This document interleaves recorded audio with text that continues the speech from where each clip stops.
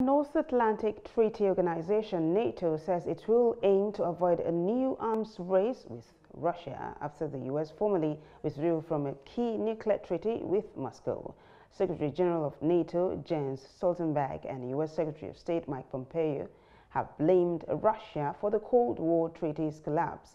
Uh, the intermediate range nuclear force banned missiles with ranges between 500 and 5,500 kilometers.